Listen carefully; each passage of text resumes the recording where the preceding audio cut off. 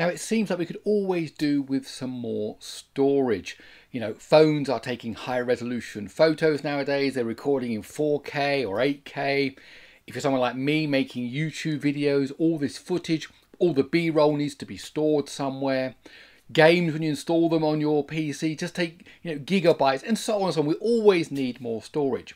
Now, of course, one way is you can just add more storage to your desktop or to whatever machine you're using. Now, I'm using a laptop, which makes that a bit more difficult. I could uh, attach external storage via a, a USB port, or another alternative is to use network attached storage. And as it says in the name, it's storage that's available over the network. Now, of course, you can buy network attached storage units from some of the popular manufacturers. Synology, for example, I've got reviews of various Synology devices here on this channel.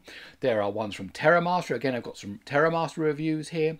Or you could build one yourself, do it yourself, DIY approach. And to do that, you could take a second-hand PC or even a Raspberry Pi and then connect some storage to it and then you can make it available on the network. Now to make it available on the network, you can either install Linux and then kind of manually configure it yourself. I've done that myself. I've got some videos about that here on this channel. Or you could use a solution, a network attached storage solution, like TrueNAS, like Open Media Vault, or like Unraid.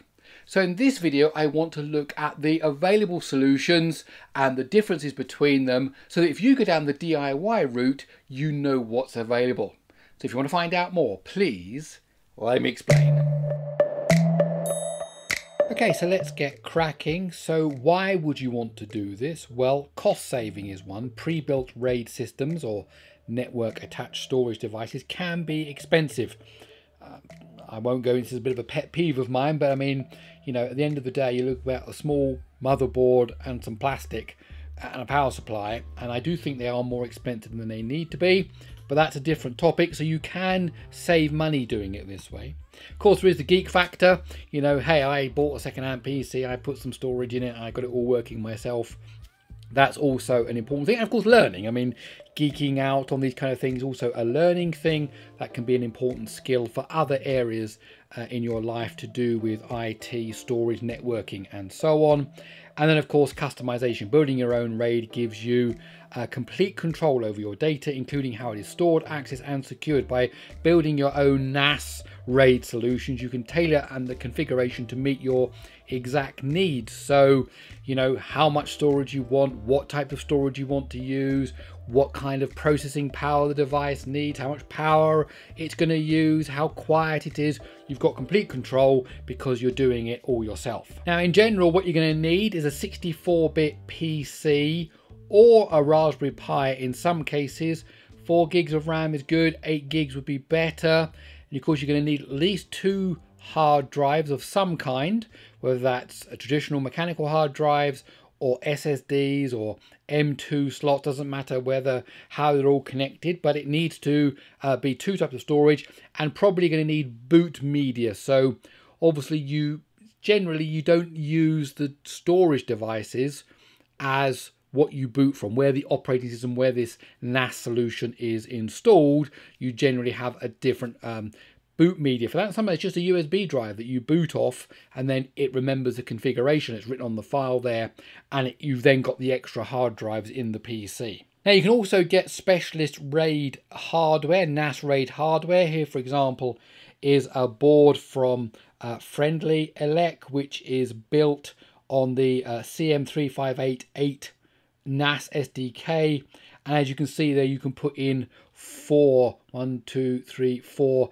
uh, uh, M2 drives, NVMe M2 drives, uh, and then that's it. You've you, that's all you need that little module, uh, or you can use something like this uh, NAS unit, which is using an Intel N100 CPU. The one on the left is using an ARM-based CPU, and this one has got lots lots of space for SATA. If you look over here on the right, there are six SATA connections, and there's also some M2 connections in there as well. So you could just buy dedicated hardware if that's what you want to do. It's an interesting idea. Or you could just pick up a, a second-hand PC or a Raspberry Pi if that's the path you want to take. So what software are you going to run on it? Well, we're going to be looking today at TrueNAS, which as one of the alternatives, that's based on FreeBSD or Linux and uses Open uh, ZFS, ZFS. Uh, you need a 64-bit uh, CPU x86 with 8 gigs of RAM and at least a 16 gigabyte boot device, of course, plus your storage. Or you can use Open Media Vault, that's another alternative. That's Linux based. Uh, you're going to need a 64 bit CPU with just 1 gigabyte of RAM or a Raspberry Pi, and then an 8 gig boot device, and then, of course, plus your storage. Or you can use Unraid, that's Linux based, 64 uh, bit CPU with 4 gigs of RAM and a 2 gigabyte uh, boot device plus storage. So different options there.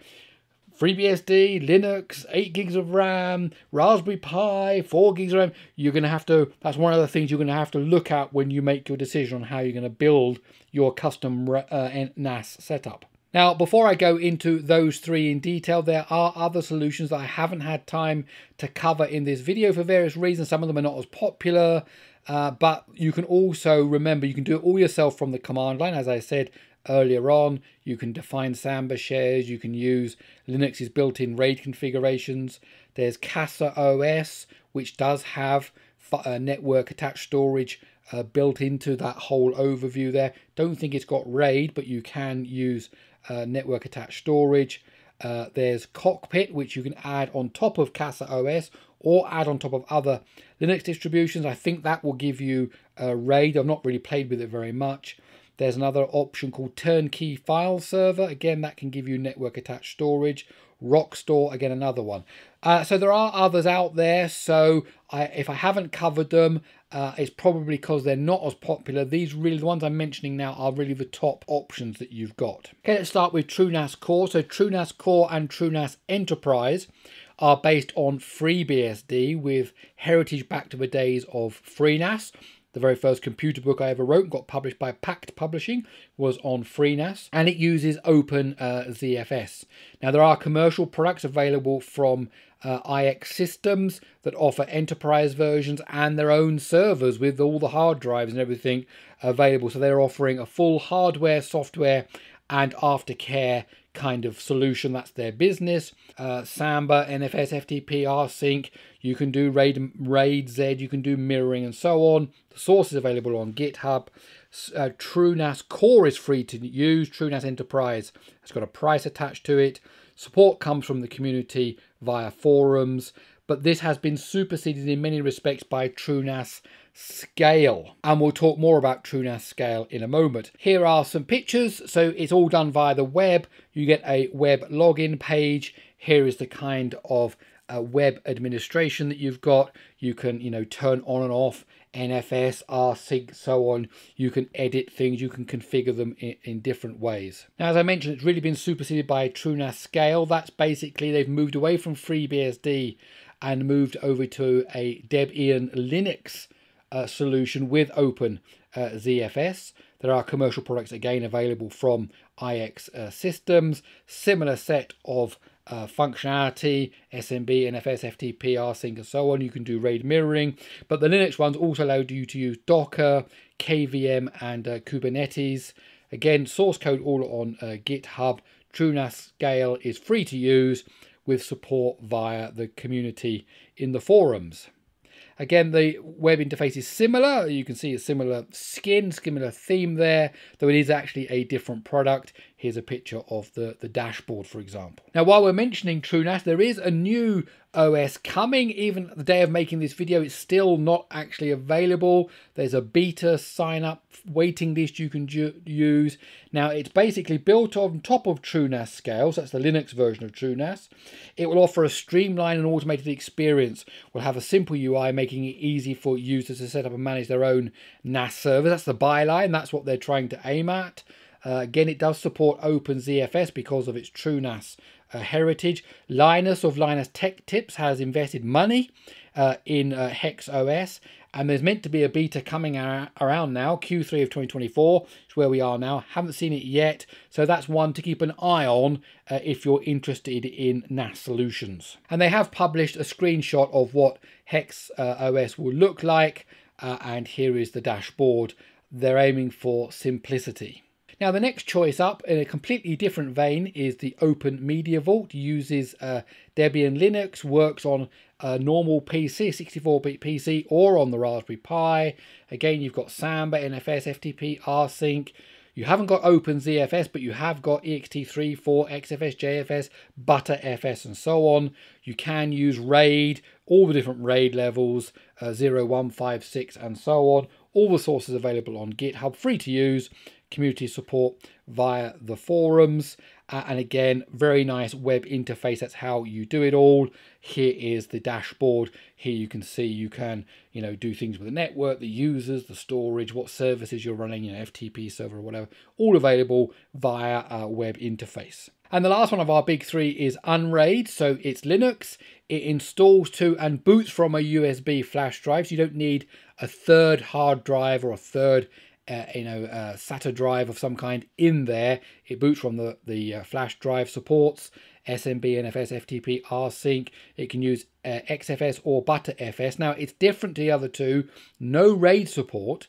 So you're not getting the speed improvements that you get from RAID, which is, you know, uh, under certain setups, depending how you do it, when the data is being read from the disk, it can read from two or more disks simultaneously and therefore get you the data out quickly. But it does have this, that's why it's called unraid, but it does have parity protection. So you do have an extra drive that you put in and parity information is added onto that drive. And parity basically uses XOR I've got a couple of videos here on XOR on this channel if you're not familiar with the mathematical operation, the bitwise operation of XOR. But basically, if you lose a drive, the data can be rebuilt by looking at the data on the other drives and what's in the parity drive, and that can uh, rebuild the failed drive. In fact, you can actually nominate two drives as parity information, means you can lose two drives as well. Now, it's not open source, that's another big difference, and the different uh, levels of pricing start from $49. Now here is a picture of the dashboard, again all web administration and here I wanted to point out here is where you can define the parity drive. So here are all the disks that you can add in. Here are the parity. If you have one, you can lose one disk and it can get rebuilt. If you have two, you can lose two disks and it can get rebuilt. So all the solutions I've covered are good. I wouldn't have a problem uh, in recommending any of them really. You say, hey, go ahead and, and use those. Uh, they're all good. If I was forced to pick, it would be between TrueNAS Scale and uh, OMV. If you really push me, which one would I go for? I would go with OMV because it has lower system requirements uh, and it does offer support for the Raspberry Pi. Okay, that's it. I'd love to know whether you've built your own uh, DIY NAS, got second-hand PC, put some hard drives in it, uh, and then installed one of those uh, solutions I just talked about. Love to hear about your successes and your failures. Uh, because that can be useful for other people. If you like this video, please do give it a thumbs up. And if you like these kind of videos, then I invite you to stick around by subscribing to the channel. Okay, that's it. I'll see you in the next one.